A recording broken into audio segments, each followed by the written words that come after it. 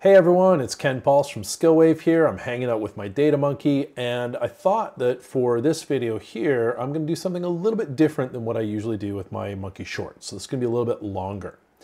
Uh, as many of you are aware, we actually run a bunch of different training programs at Skillwave, including the Power Query Academy and the Self-Service BI Bootcamp and other different courses. And with each of these, you get forum access to a curated forum that is maintained by Matt Allington and myself. And what I'm going to show you here is actually a solution to a question that got asked inside that help forum. Um, and I thought this was just kind of an interesting use because it actually allows us to explore how we take multiple different recipe patterns that we have for the Power Query Academy and put them together to unwind a kind of a complicated data set. So let's, uh, let's go and hop in and take a look here. Um, what I've got is I've got a table that looks like this. And I don't know 100% everything that was happening here. I'm not really that concerned about it. It was just more about getting the structure. Uh, what I can see here is it looks like it's a sort of a user entry template where we have some individual days. We've got some merge cells across the top here for the 18th, 19th, 20th of October, and that continues across for uh, seven days altogether. We have some different resources here. Again, this is merged and rotated uh, along the side here, but obviously it bands all these things together. And the secret to understanding this data is to recognize that in every single one of these blocks, which is uh, six rows tall by three columns wide, we have data point one, two, three, four, five, six, seven, eight, nine, and 10. And this is the important thing to realize that data one and two are always on the first row, Datas three and four are always on the second row, five is on the uh, third row, and so forth all the way down this. So the values can be textual, they can be numeric, it doesn't really matter. The big question is, how can we take this and unwind this into an unpivoted tabular format that looks like this? So we've got our resource A down the left-hand side with the individual days that we have here, and across the uh, columns here, we want to have data one, data two, data three, data four. The important thing to realize here is that I don't believe the user gave me the real column names here. I think this was all sanitized for, uh, for my benefit, which is awesome. That's what we love to see. The question is, how can I actually get that out? So what I'm gonna show you here is I'm gonna show you the solution that I built. And uh, I'm just gonna go and uh, pop this up here. And the first thing I wanna sort of point out here is this actually um, combines two different recipe, pattern, recipe patterns we have. One is unpivoting subcategorized data, and the other one is pivoting stacked tables. And there's a couple of different tricks in this. The first thing is around the unpivoting of subcategorized data. We actually use a structure like this for big data patterns. So I'm going to start off, I'm going to open up my raw data query here, and you'll notice that this is just a query that reads the named range from the current workbook. And I've used named range. I don't want a table because I don't want to lock these things down with weird column headers and I don't want to blow up the formulas.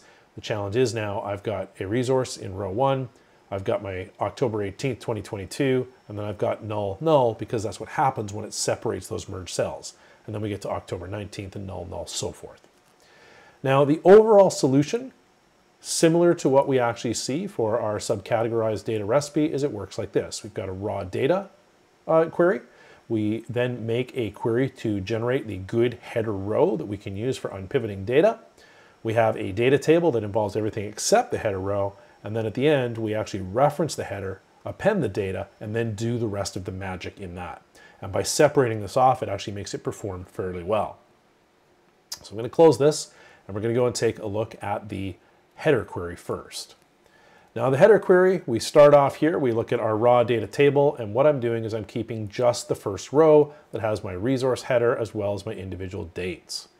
Just like we do in our subcategorized uh, or unpivoting subcategorized data recipe, we're going to transpose this. And then we do a little bit of work here that's actually not in the recipe, but um, this is tailored to this data set. So what I'm going to do is I'm going to promote the headers. So resource goes to the top. Now it gives me just the dates. I'm going to change those to be just a date. I want to drop the times, fill it down so that we get multiple instances. Because when I flip this back, I need to have three columns for October 18th, three columns for October 19th. The Problem is, you can only have one column with the same name. So I'm going to add an index column here. And what I'm going to use is I'm actually going to use something for our stack data recipe. I'm going to use this modulo to convert this. So instead of going 0, 1, 2, what we're going to end up with is 0, 1, 2, 0, 1, 2, 0, 1, 2. So we don't have the 3, 4, 5, 6, 7, 8, 9. And what that indicates is this is data point 0, 1, and 2 for October 18th, 0, 1, and 2 for October 19th. I'm then going to merge these columns together with an underscore at the end, separate from the dash. This is an underscore, and there's a reason I did that. And then I'll rename it back to resource because when I merge the columns, it changed the column name. And then finally, I'm going to demote that back into the headers. So resource is now at row one. Change the data type, although it actually didn't, left it as any, but whatever. And then I'm going to transpose it back. We now have a good header row that has our resource, our October 18th for 00, October 18th for 01 and 02. So these will now be unique when I lift them to column headers. And then we get into October 19th, 01, 02, and so forth. Now the data query itself also references the original raw data. But you'll notice that the only thing I do in here is we had this one header row in the raw data. I'm just going to remove it. So basically what I've got is I've got a header row or a header query that has one row that just has the headers in it. And then I take this data and I remove the headers from it. And the reason being is because the headers here have these null values in which I don't want. So by cutting those off and having a good query here that gives me good column names, I can then reference this one, which is what I did in my output query. You see it says equals header and then we can append the data to it. So basically I've swapped out row one with a good header here. Okay, so that's the, the whole goal of that transposing, filling up and down.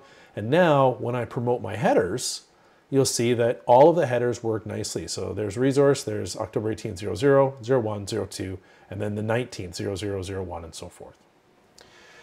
Now the next thing that I want to do is I actually want to go through this and I want to unpivot my data. But before I do that, I'm going to do a little bit of prep here. So the first thing I'm going to do is fill down the resource column to make sure resource A is uh, filled into all those nulls and then resource B into all those nulls.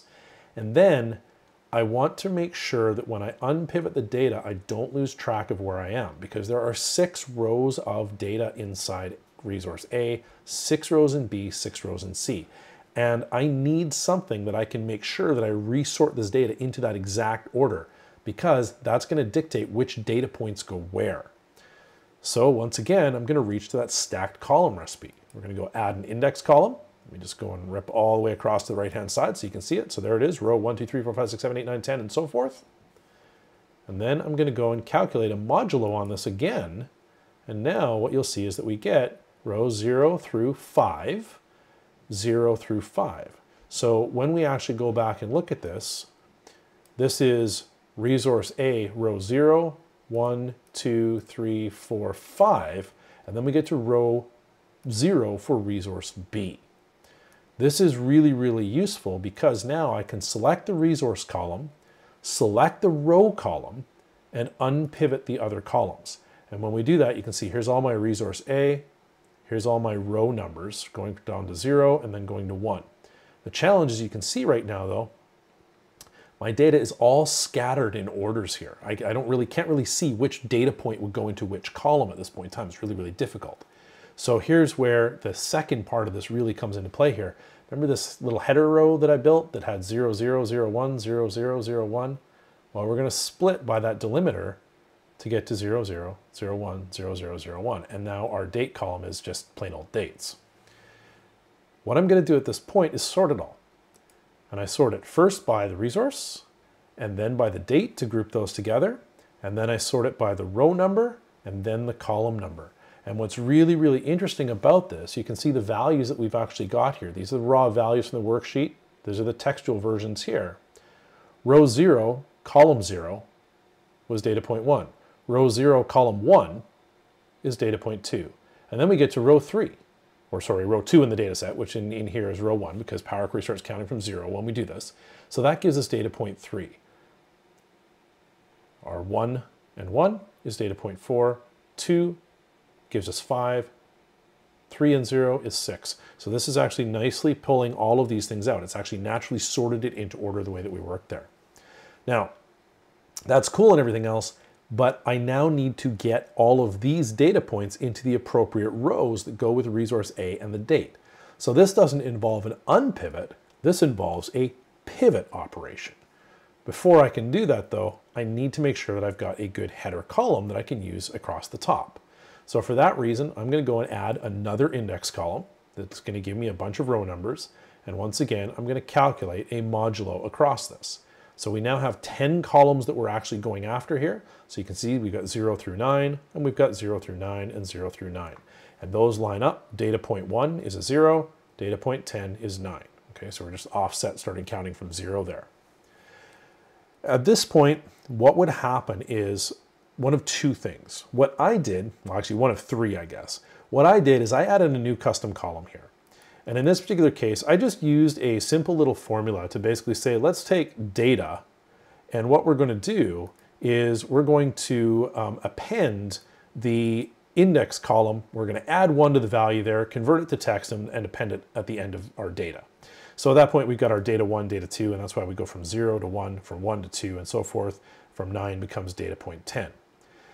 For the user who posted this, most likely what's going to happen is one of two things. They're either going to write a conditional logic formula to say if it's zero, give it this column name. If it's one, give it this column name. If it's two, give it this column name, etc. Or they're going to pull in another data table that says data point zero equals this column, and they're just going to merge that against the index column to come up with the correct column names. Once we've got all this prep work done though now, we can go over to removed other columns here. And this is where I basically said, okay, I'm just going to get rid of everything that's irrelevant here. I need my resource. I need my date. I need my column names here, but I need those across the top. And then the value is what needs to be filled in in the middle. The important thing to realize about this is that the way that this has all been set up here is that every intersection between resource, date, and column name is unique. And that's important in this particular set here because that allowed me to go and grab this column, column names, and choose to pivot it. And what that does, it says all of the unique values in here will become our column names across the top.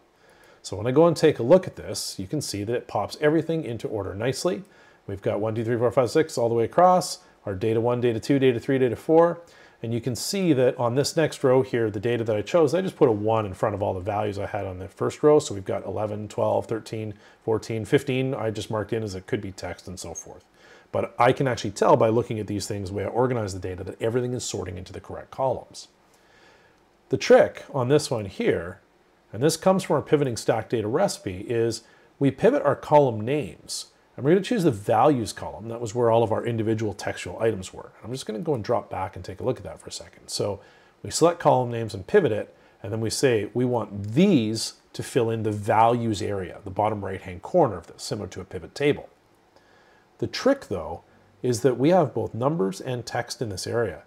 So by default, what will happen, and it's hidden under the advanced options, is that it will try to count it because there's text in there, and we don't want that. Instead, we want to choose this don't aggregate. Now again, back to that comment about how the intersection of all these points was unique, that's important in order for this to actually work. As long as it is though, when we say don't aggregate it, that's why we actually get back the textual data points here.